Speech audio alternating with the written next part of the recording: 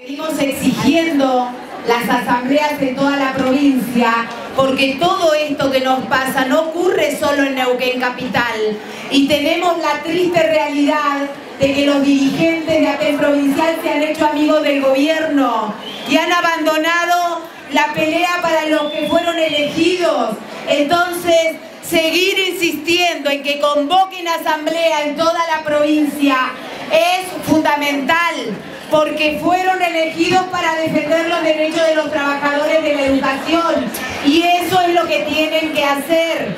Entonces, compañeros y compañeras, dicho esto, quiero retomar para que de conjunto hagamos un videíto que le podamos mandar a los trabajadores y trabajadoras de Salta.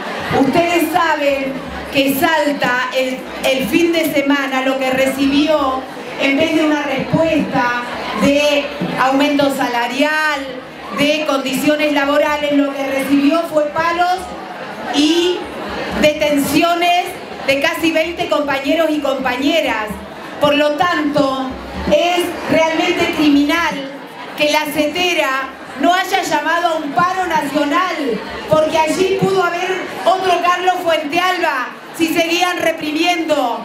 Entonces hay que exigirle a la CETERA el paro nacional para que triunfen los compañeros de Salta.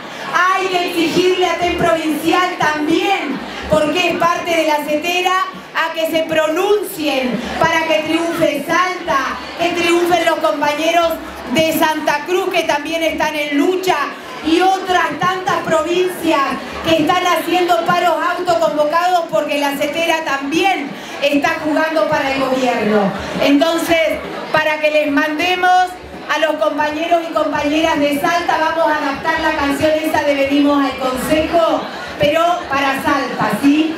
Entonces vamos a decir así, venimos al Consejo y vamos a apoyar a la lucha de